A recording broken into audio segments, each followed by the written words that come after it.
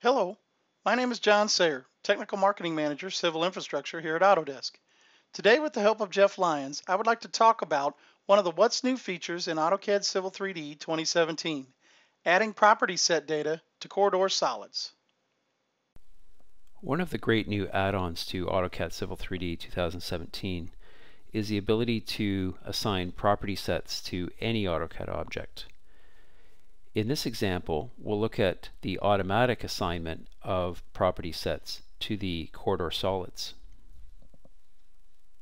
Upon selecting our site corridor, you'll see the context menu appear in the ribbon. Go ahead and select the Extract Corridor Solids option. Immediately you'll see all of the baselines and regions that make up the corridor. We can assign what we want exported using this first interface in the wizard.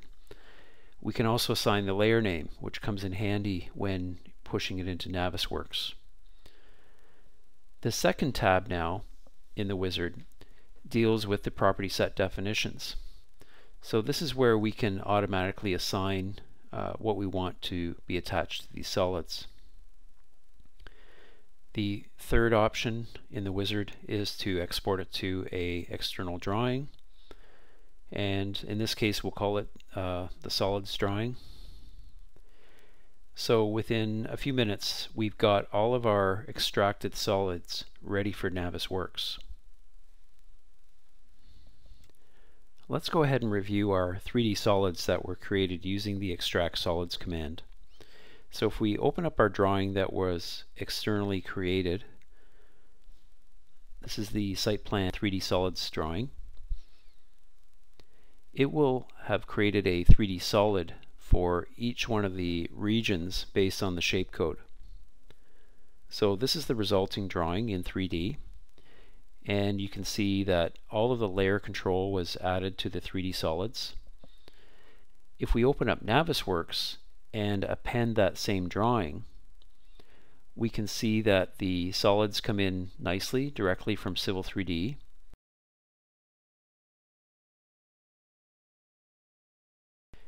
if we open up the selection tree, you can see that the solids are layered properly based on the material type and shape code.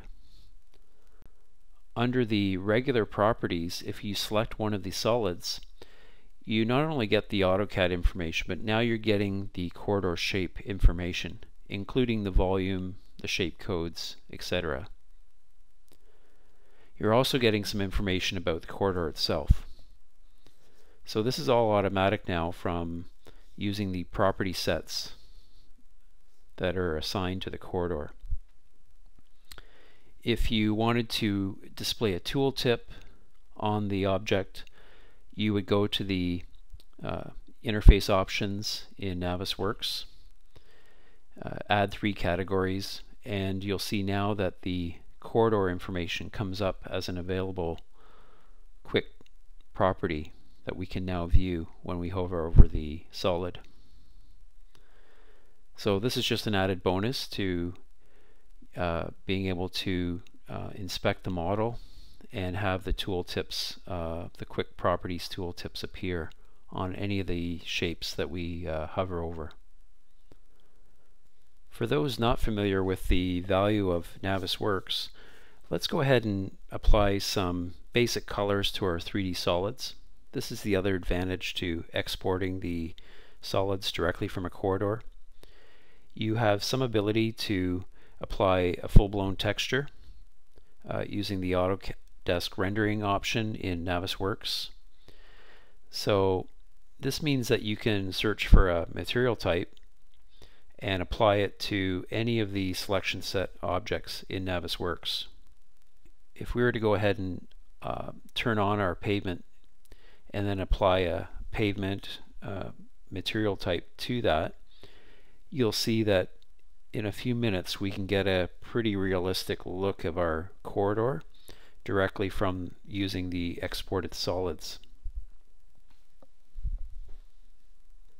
Let's finish off our visualization by attaching a concrete texture to our curb and a uh, grass texture to our daylighting and ditch area. So by selecting the solids in our selection set tree view. It'll highlight the items. We can go and search for the texture we need and then simply drag and drop it to the highlighted items. So within a few minutes we've got our nice looking corridor that has some textures attached to the solids and it's now ready for client review. I hope that the information in this video has helped you understand one of the new features inside of Civil 3D 2017. I want to thank you for watching and have a great day.